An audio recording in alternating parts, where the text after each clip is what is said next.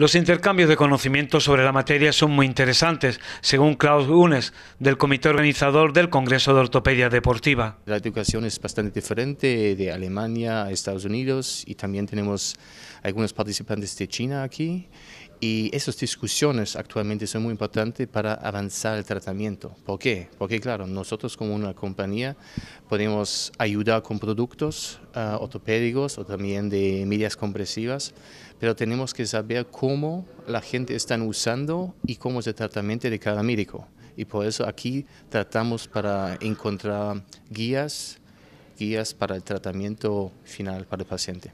Las conclusiones serán trasladadas por los profesionales europeos, americanos y asiáticos a sus distintos países.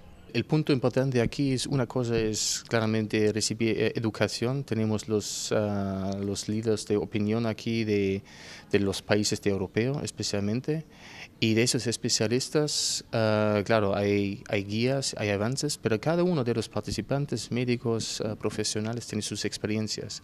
Y esas experiencias hay que discutir y con esas experiencias hay que valorar si la guía en ese país vale o no vale.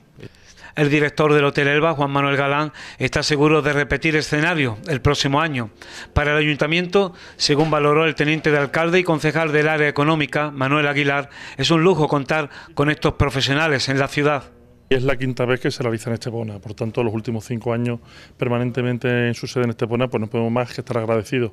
Desde luego tenemos algo claro, es que si entendíamos que eh, esto va sobre medicina, va sobre deporte y esto tiene lugar en Estepona, pues difícilmente vamos a encontrar un sitio con su gastronomía, con su gente, con su, con su equipamiento, con sus instalaciones y con su clima que favorezca tanto, tanto la salud como el deporte. Por tanto, creo que un sitio inmejorable y nada más que agradecer a la dirección de este congreso que nos elija por quinta vez.